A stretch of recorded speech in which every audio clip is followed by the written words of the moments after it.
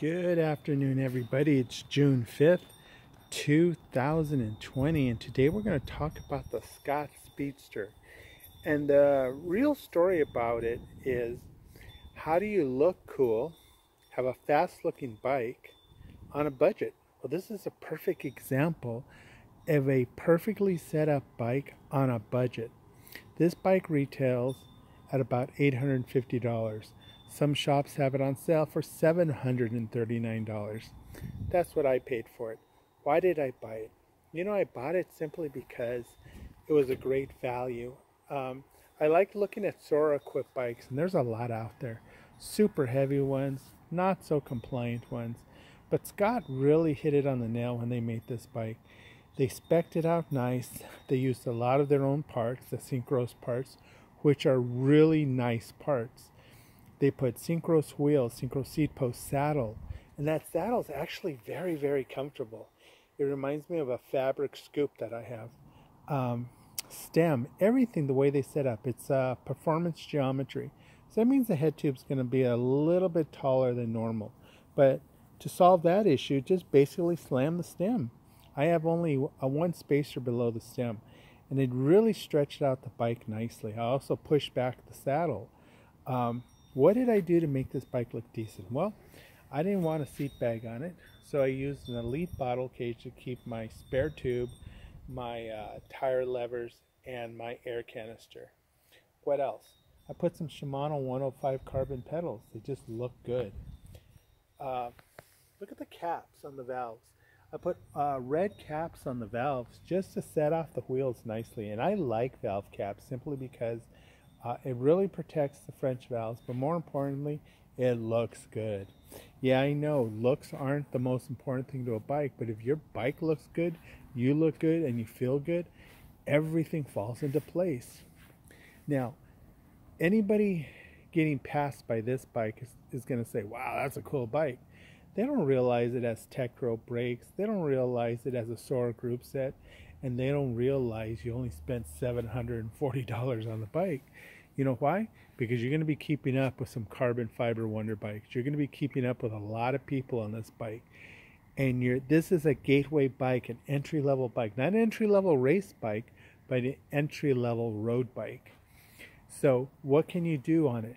Dude, what's a bike intended to do from go to A to Z, from traveling, getting out in the open, just riding and, and getting fit. That's what a bike's for. So that's what it's going to do. Uh, it's not a super lightweight bike. It's not a super fast bike. But I've said it a million times and I'll say it again. It's your legs that are going to get you where you want to go. Yeah, is it nice to have a full carbon fiber bike? Is it nice to have really hot, high end parts? Of course it is. But it's not necessary. You know what's what's really cool? It's going to make you feel good you still have money in the bank and you got a bike that looks good. Now, when you kit it out, kit it out nicely, make sure everything matches. And when you put your personal kit on, make sure it complements the bike. You know, I wouldn't wear fluorescent green with a bright red bike. I just wouldn't do it. Um, Damien, is it necessary to take a poop right in front of my bike? This little guy, he's a poop master.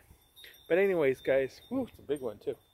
Uh, anyways, guys, this is just, you know, giving you an idea. It's a simple bike. It's a good looking bike.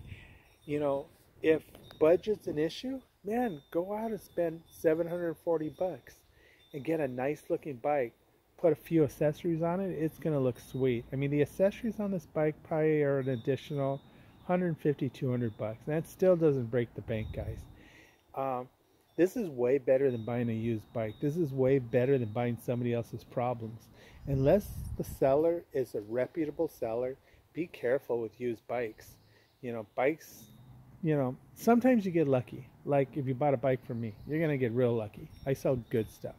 But not everybody does, and I've heard some horror stories. Uh, so be smart. Look at your ability. Look at what you want to do with it. What would, if, if I was a new cyclist, and uh, I was thinking, man, what would be the first major upgrade on this bike? You guys all know the answer a set of wheels, a set of nice wheels, a set of nice hubs. And that's going to cost you anywhere from three to four hundred bucks.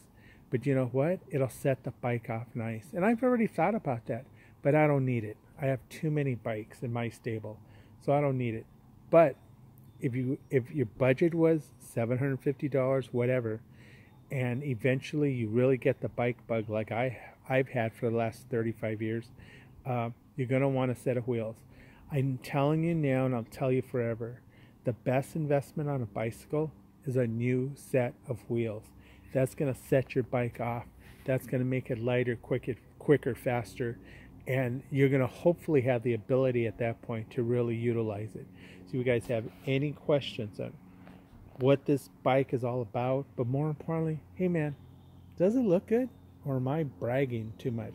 I think it looks sweet, but if uh, you guys think I, it can make it better, let me know.